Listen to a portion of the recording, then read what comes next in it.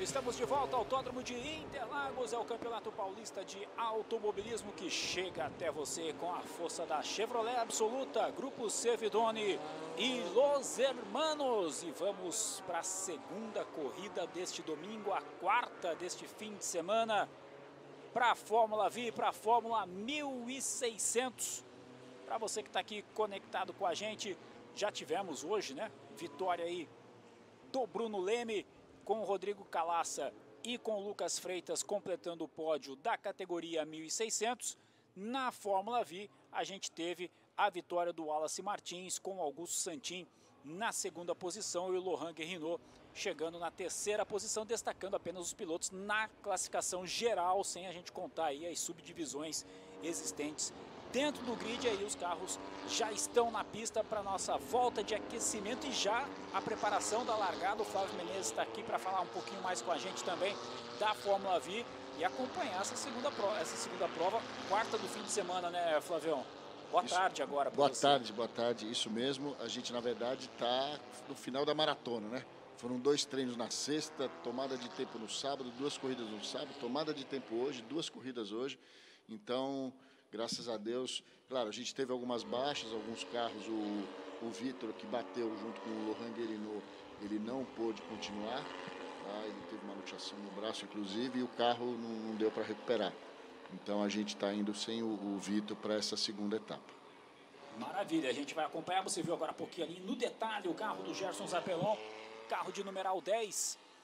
E aí os carros vão passando já para alinhar, você vê que o safety car já fica mais aqui na chegada do café, né, para dar a chance para os carros passarem e aí eles vão para fazer o alinhamento do grid para que a gente tenha a largada. A largada é parada tanto para a Fórmula 1600 quanto para a Fórmula V. É, só um detalhe, por que, que a gente fez o pré-alinhamento uh, na saída de box? A direção de prova optou por fazer isso para a gente ganhar tempo, é, porque a gente atrasou, né, tá, as atividades estão atrasadas hoje, então a direção de prova para a gente ganhar tempo, a gente já fez o pré-alinhamento na saída de boxe, não vai ter volta de apresentação.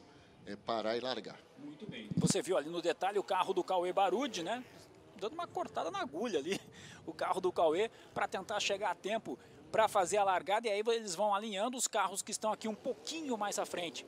São os carros da Fórmula 1600, formando todo o primeiro pelotão aqui, o primeiro grid, um pouquinho mais atrás ali os carros da Fórmula V. A gente já explicou nas primeiras transmissões né, a questão é, de tempo de volta, de questão de pneu, né, e que isso faz com que o grid acabe ficando praticamente um grid só da 1600 e mais atrás o grid da Fórmula V. Tá aí a luz vermelha, já prontinha, já apagando, já tá valendo, já vamos acelerando juntos em Interlagos. Fórmula 1600, Fórmula V, acelerando juntas. Rafa de Léo, Igor Costa vão brigando aqui Logo no começo, o Bruno Leme vai tentando manter ali a sua primeira posição. O Bruno Leme já cai ali para a segunda posição, a gente já vai vendo. O Diogo Moscato também já vem para essa briga e já vem o Dias Hamilton também pulando ali para brigar pela primeira posição junto com o Rodrigo Calaça, que é o cara líder aí, um dos campeões da categoria. E olha só esse trio wide na reta. Ih, rapaz, ali onde passou, se meteu ali o Lucas Freitas tá uma lama só, né? porque deu muito óleo na pista do carro da 250 da Old, você estava acompanhando aí a nossa transmissão, viu que estourou o motor da Caravan justamente ali, o pessoal do resgate fez a limpeza de pista, mas não é o melhor caminho indicado, esse caminho que pegou ali o Lucas Freitas. É só para o pessoal saber, aquele, aquele pó é um material para absorver o óleo, né? né? Isso, isso, e aí para tentar fazer com que a pista volte ao normal. Mas aí tem que muito carro passar em cima para limpar, né, Flávio? Essa que é a questão nesse momento, né? O pessoal colocou o pó, deu uma varridinha, mas fica ali, sempre fica um pouco de óleo também. Então todo cuidado é pouco para os pilotos, lembrando que os carros da Fórmula 1600 usam o pneu slick, os carros da Fórmula V usam o pneu radial. Isso, é... Que os dois escorregam igual no óleo, é bom a gente frisar Com certeza. É, o do, só tem uma diferença, da, da 1600 é semi-slick, eles estão fazendo o teste hoje, né? É a primeira cor, ontem, né? Foi, foi a estreia com esse novo pneu, como o Silvio tinha mencionado, um pneu chinês. E a gente continuou com o nosso radialzinho lá, bonitinho, vamos fazer o beabá. Há boatos que poderemos ter semi slick na Fórmula V daqui para então, mais gente, para frente um pouquinho? Pode ser, a gente vai ver custo, porque a, o intuito da nossa categoria é custo baixo. Se a gente começar a colocar muita coisa e onerar, a gente perde a, a, a essência ideia, da coisa, essência né? Da coisa. Então, a ideia, a gente vai, tá, a, 1600 vai ser um laboratório para a gente avaliar realmente. E você vê aí o Bruno Leme já disputou ali com o Rodrigo Calaça, já vem para ser o primeiro colocado, começa a tentar abrir um pouquinho de vantagem o Bruno Leme, que fez uma prova sensacional de recuperação na primeira corrida na parte da manhã, largando dos box e garantindo a vitória. O Bruno Leme, que já venceu corrida ontem também. O cara tá com tudo nesse fim de semana. Aqui em Interlagos, o Bruno Leme. Você vê que esses carros sem aquela barbatana traseira, são os carros da Fórmula 1600. É forma de você ir identificando. Os cinco primeiros colocados vão andando praticamente juntos. Tem disputa boa ali pela terceira posição na prova. Quem está nessa briga aí, ó, tem ali o Marcelo, tem também o Rodrigo. Moçada vai brigando por posições, você vai conferindo aqui junto com a gente. Você que está no YouTube, da Race TV, na High Speed TV ou no Facebook do Interlagos Motor Clube. Compartilha aí o link da transmissão, vai deixando o seu like. E por isso que com, com esse pneu semi-slick, agora a gente não tem mais um como ter parâmetro, ou seja, os carros não são diferentes agora. Exatamente. Tem, antigamente a gente tinha uma, uma leve melhor, andava mais rápido o 1600, só que agora a gente não tem como saber, porque como o pneu é muito diferente, dá 2, 3 segundos de diferença. O que de certa forma para os pilotos talvez deu uma melhorada, né, Flávio? Porque a gente não tem aquela mistura no grid na hora da largada com, que era tradicional do, nas etapas do ano passado. É, né? Ele fica misturado na largada, mas depois eles vão, cada um vai ficando na sua, no seu Porque a, a, motorização é a mesma, mas o pneu está fazendo sim, sim. A, a diferença. A gente tem visto isso. Por exemplo, nesse momento o Bruno Leme com a melhor volta de prova, 156.715, que é piloto da, da 1600. O melhor piloto da Fórmula V é o Santin, vai virando ali a casa dos dois minutos, um pouco acima. Então é muita diferença nesse quesito do pneu e por isso os grids vão ficando separados aí na pista. A gente vai observando, tá aí ó, o líder da Fórmula V tá aí na sua tela, é o Santin. Santin que de Belém do Pará, vem é do clube do. Não é à toa que tem o símbolo do clube do, do, Remo. Do Remo ali, né? Já pensou e... se eu confundo falo que não é do Paysandu, rapaz? Vai dar uma eu não briga. deixo, não, que vai dar uma não briga pode, danada. Não pode. E, e ele vem, toda quinta-feira ele pega o voo, chega aqui seis da tarde, então é uma correria e tá. Ele está até machucado, ele está com. Ele torceu o tornozelo, então ele não está 100%. Aliás, é bacana a gente ver essa questão dos pilotos do Pará, já que você citou, porque a gente tem, é, por exemplo, o Vini Azevedo, que está acelerando também, andou no Mercedes Challenge, vai, vai tá para andar no Mercedes Challenge esse ano. A gente tem o, Rodrigo, o Roberto Posses, que é um piloto também lá do Pará, que está começando agora.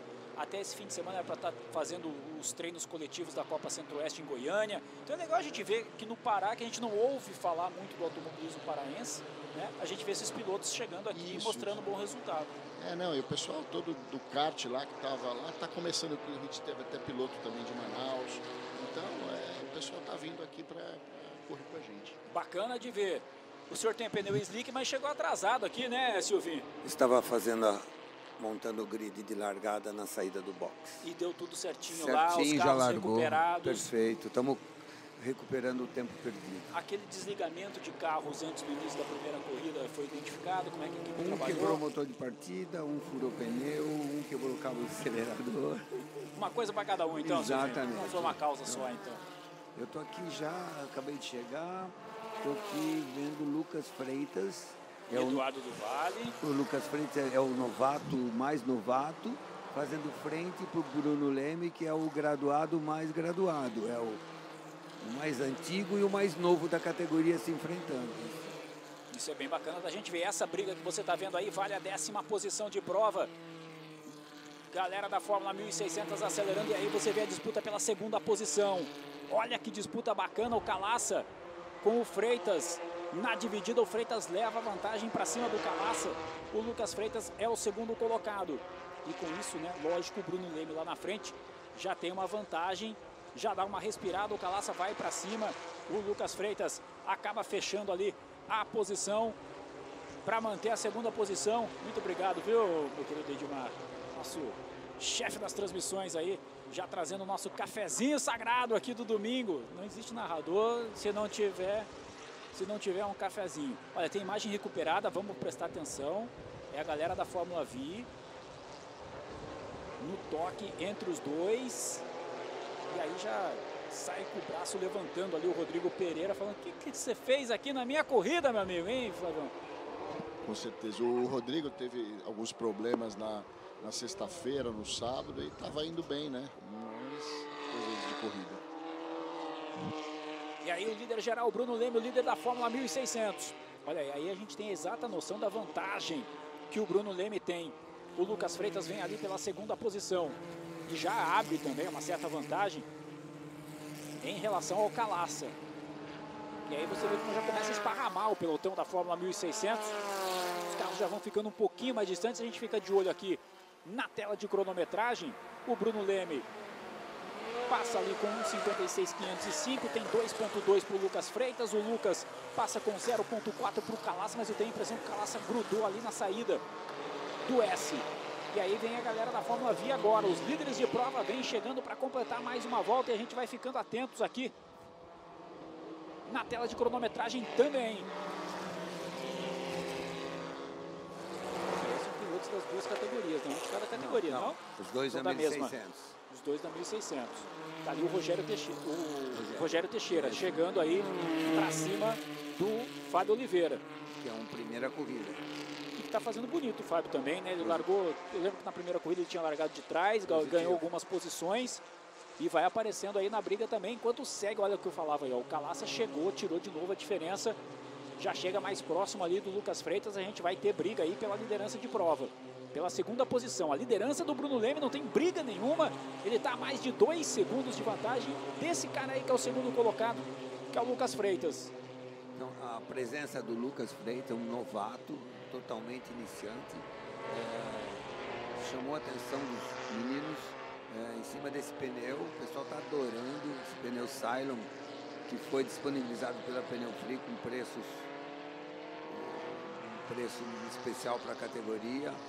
E próxima corrida, fatalmente a 1600 irá acima de 30 carros.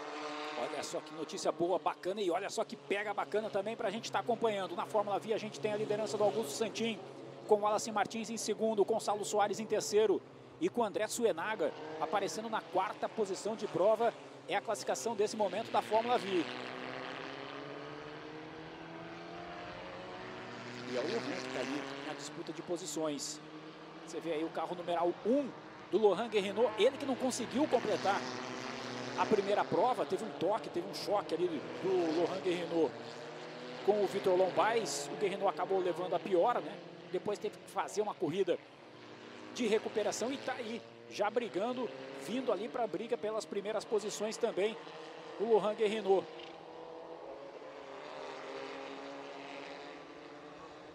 Que tem título já na temporada de 2020. Aí o Bruno Leme, olha só a vantagem do Bruno ali atrás, a briga pela segunda posição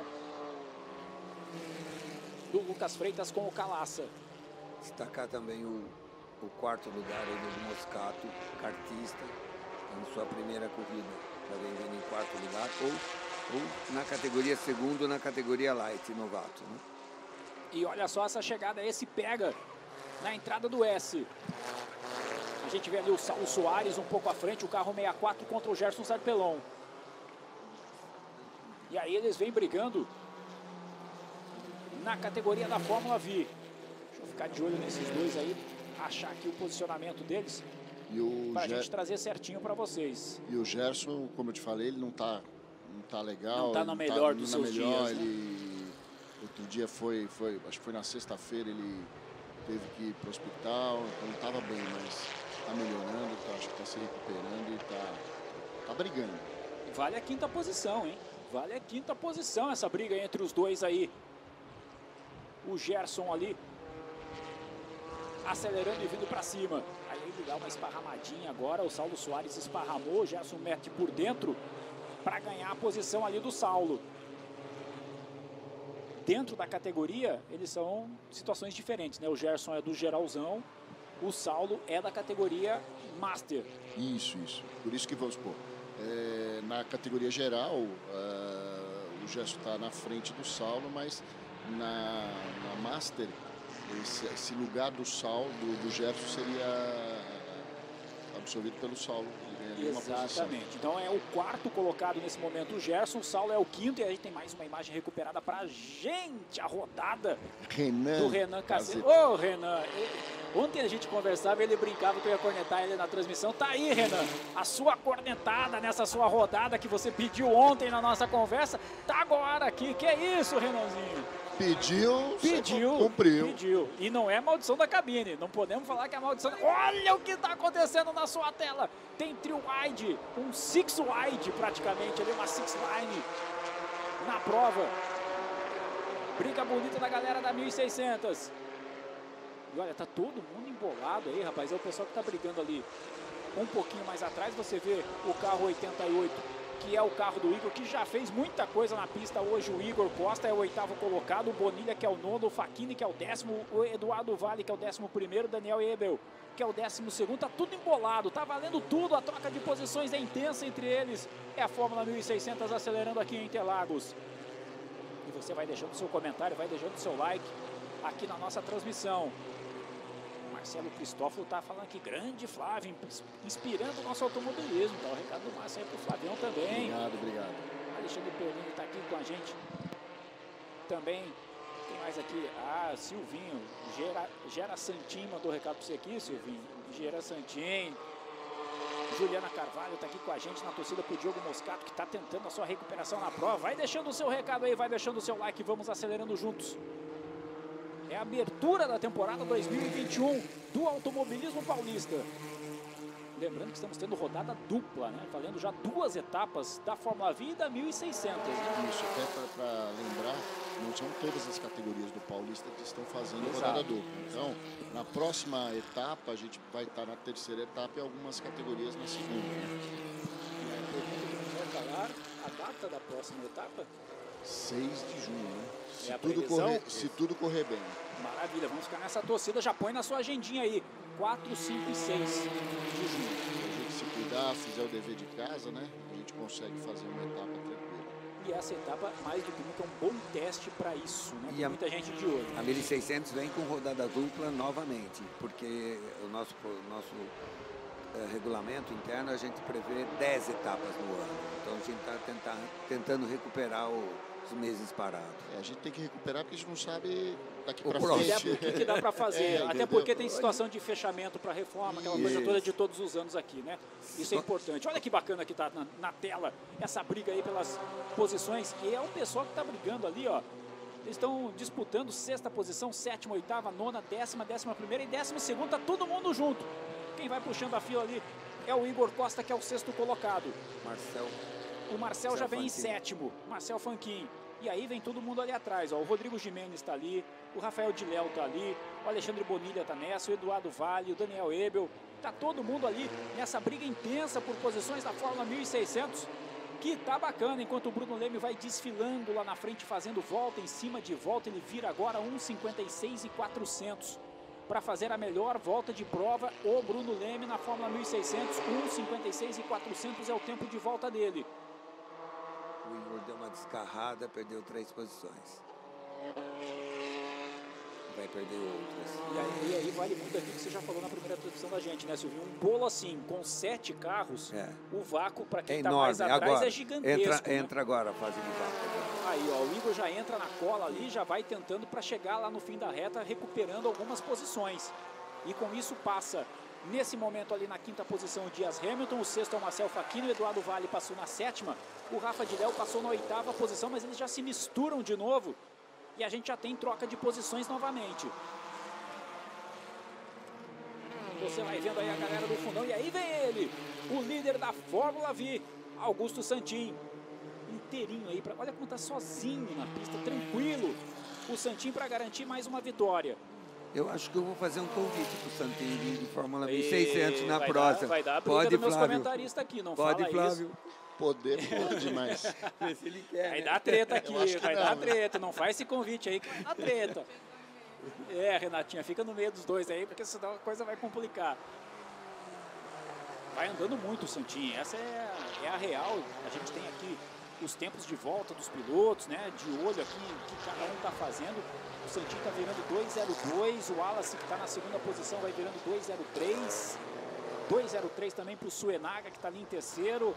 O Lohan, que já tem experiência, vai ali com 2,02 de tempo de volta. Então a gente vê esse equilíbrio também, mas vê que está sobressaindo o Santin, principalmente com os resultados todos deste fim de semana, né? Que ele já andou, já ganhou a corrida 2 ontem, o Santin foi segundo colocado na corrida 1, um, ou seja, vai mostrando que está um degrauzinho um pouquinho acima aí o Santin, que vem na liderança de prova da Fórmula V. Ultrapassagem ali do Rodrigo Pereira, ganhando posição também na prova para cima do Daniel Rienda. E aí tá ele, ó, o cara que está sobrando na pista nesse fim de semana. Bruno Leme, o líder da Fórmula 1600, o líder no geral da prova. O dono da melhor volta nessa prova aqui em Interlagos. A volta dele, eu já vou contar para o senhor. Tá ali, ó, Carlinhos, 1,56 e 400. Tá bom, Silvinho, para você? 1,56 e 400. Vem tranquilo e vem com uma vantagem de mais de 6 segundos para cima do Lucas Freitas, que está aí aparentemente tranquilo na segunda posição, porque ali atrás, ó, já chega o Diego Moscato para fazer a ultrapassagem para cima do Calaça para subir a terceira posição de prova. São os dois pilotos light à frente dos, do outro Master experiente. É, Lucas Freitas e o Diogo Moscato vão também, se tiver duelo entre os dois, se o Moscato conseguir chegar ali no Lucas Freitas, a gente vai ter uma briga pela liderança da Light Exato. clara na pista, o que é bacana também nessa prova, já que o Bruno Leme está sossegadão lá na frente com essa liderança. Ô Flávio, me manda um piloto graduado para a gente pôr para brigar com o Bruno Leme. Podemos chamar os carinhos conhecidos, né, por favor? Eles não vão soltar Não vai, né? Estão bem lá. Estão tranquilos, Estão tranquilos. Por que, que vai? Não. É aquela história, eu tô ganhando corrida aqui, por que, que eu vou me incomodar lá, né, rapaz? É mais ou menos É. isso também. Não tem por que se incomodar nessa hora. Vou começar a visitar cartódromo para trazer piloto de kart para brigar com o Bruno Leme. Tem uns bons por aí também. Posso te indicar vários nomes aí dos kartistas que estão acompanhando aqui a nossa transmissão. Galera toda que também dando show na pista, seja na 125, seja na F4. Alô, cartista, há vagas. Há vagas, vagas abertas. E você vê aí, ó, como veio passando ali, já ganhando posições também, o Lohan Guerrinot da Fórmula V, já fazendo a ultrapassagem ali. Às vezes acontece também isso que a gente está vendo. Fórmula V fazendo ultrapassagem, para tá vendo como tem gente que, que vai bem. A, a Fernanda, o carro rosa, é uma guerreira. A Fernanda Nisseto. Exato, guerreira, trabalha, uma profissional da área de, das finanças, mãe de duas crianças, e aí guerreira. Então parabéns para Fernandinha É, também. hoje é, também é tá dia de dela, parabéns né, mãe? também. Exatamente. Tá, Tá aí, ó, brigando, palmo a palmo com alguém, se diverte muito. Celebrando dentro da pista, tá aí a Fernanda Nisseto no detalhe, na sua tela aqui, da Race TV, da High Speed. E olha só que vai rolando aí na pista, tem mais briga de posições. Você vê ali o Alexandre Bonilha tendo que se defender do ataque do Marcel Facchini, veio por fora ali o Facchini e segue a bandeira de falta de aderência naquele ponto da pista ali, já limpou aquele, o pó aderente, né? O absorvente já limpou da pista, mas segue a bandeira de falta de aderência ali na chegada para o lago.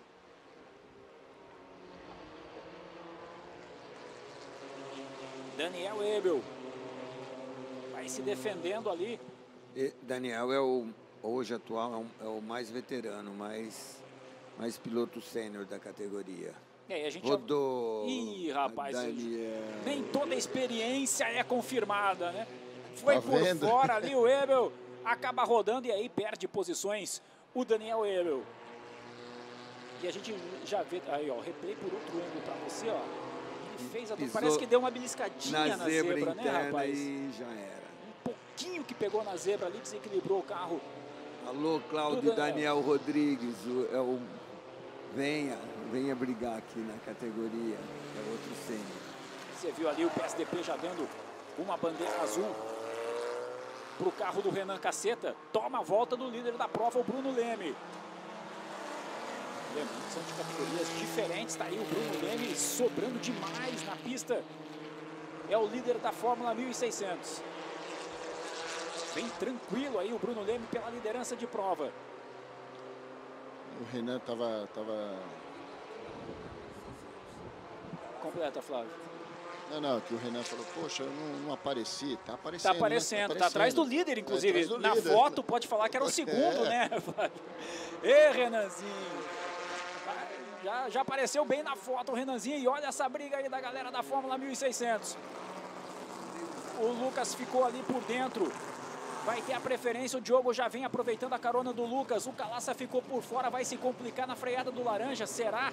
Já meteu por dentro ali o Lucas Freitas. Resta saber se o Diogo Moscato vai aproveitar. Não vai aproveitar essa carona, não, Diogo. Deu uma segurada. O Calaça fica com a terceira posição. E aí vamos ver agora no, no bico.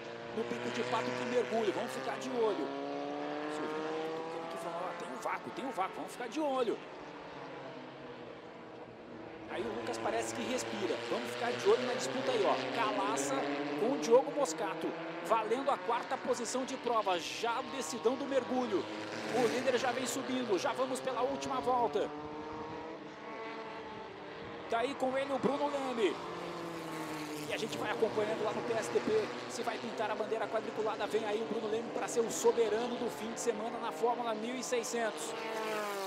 Já pode chamar o Macineiro.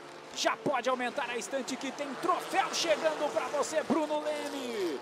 Fatura mais uma vitória na Fórmula 1600 e olha lá atrás a galera que chega. E agora são os três lado a lado. Quem vai cruzar na frente? Lucas Freitas é o segundo, Rodrigo Calaça é o terceiro, Diogo fica com a quarta posição. Fecha, portanto, a Fórmula 1600 com a vitória do Bruno Leme. Olha a chegada da Fórmula V. Vai ser sensacional daqui a pouquinho. Aí a galera da Fórmula 1600 completando. Chegando para completar. Na Fórmula V, a gente fica no aguardo da passagem do Santin para confirmar mais uma vitória na prova. Neste final de semana. Já temos o fechamento com Bruno Leme, Lucas Freitas, Rodrigo Calaça, Diogo Moscato e Dias Hamilton, os cinco primeiros colocados da Fórmula 1600. O Lucas fica com a vitória na Light. O Dias Hamilton fica com a vitória na Master. E na Fórmula V a gente vai se encaminhando para essa vitória. Tá aí, inteirinho na sua tela o Santin. Vem para buscar mais uma vitória nessa temporada, nessa abertura de temporada da Fórmula V. Para fechar a segunda etapa com mais uma vitória. Aí vem ele, vem pela reta de Interlagos já vem chegando, já vem comemorando antes mesmo de ver a quadriculada. Já pode chamar o macineiro, já pode aumentar a estante, porque vai ter troféu chegando lá pro Pará. Tá aí toda a celebração, toda a comemoração. De quatro corridas ele venceu duas e chegou em, em segundo duas vezes. Realmente uma boa performance com o tornozelo complicado, hein? Já podemos dizer que é líder do campeonato, né? Com certeza, com certeza. Já- Líder da geral e da Master. Já larga muito bem aí o San- tá aí o Bruno Leme comemorando a sua vitória na Fórmula 1600. Passa celebrando também o seu resultado o Santin na Fórmula V como vencedor no geral e na Master. O Wallace Martins é o segundo colocado e o vencedor na categoria Júnior. O Wallace Martins também é a segunda dele, se eu não estou enganado. Segunda dele. Segunda dele do Wallace Martins. O André Suenaga vem pela terceira posição no geral, o segundo da Master. Muito, muito interessante, porque o André, na primeira corrida, ficou lá atrás. Foi mal, foi mal e agora. E a gente, a gente até comentou, ele é um bom piloto, ele não, tinha, aconteceu alguma coisa que ele não estava se achando. E agora ele chegou em terceiro, parabéns. Parabéns então para o Suenaga, só para a gente fechar aqui com a Fórmula V. A gente tem ainda o, na sequência aqui o Lohan Guerrino, o Rodrigo Pereira, o Daniel Rienda e o Saulo Soares são os mais bem colocados. E aí a gente fecha com o Bruno Barbieri e com o Gerson Zarpelon. Portanto, fechadas as duas primeiras etapas nessa temporada, abertura de temporada 2021 da Fórmula V e também da Fórmula 1600. Obrigado, Flávio. Até a próxima. Obrigado, obrigado. É, próxima etapa, a gente vai continuar com a campanha lá para a ONG. Favela, Favelas da Paz. É, seria interessante o pessoal contribuir para a gente ajudar. E, então, próxima etapa a gente vai estar lá. E dia 22 a gente tem a, etapa, a, primeira, a primeira etapa da Copa CPA lá em Piracicaba. Piracicaba, convite É, galera lá. Isso, isso. E no dia 23 a gente tem um festival que a gente chama pessoas que não são pilotos para poderem experimentar o carro, ver como é que é a categoria. Dia 23, entra no site da Fórmula VFVEE.com.br. Obrigado, Legal. gente. Valeu, Silvinho. Obrigado, pessoal. Até a próxima etapa. Mais uma rodada dupla 2021 Fórmula 1600. Legal. Já já a gente está de volta com mais velocidade para você. Vem aí o Open Paulista e a Classic para a gente acelerar juntos.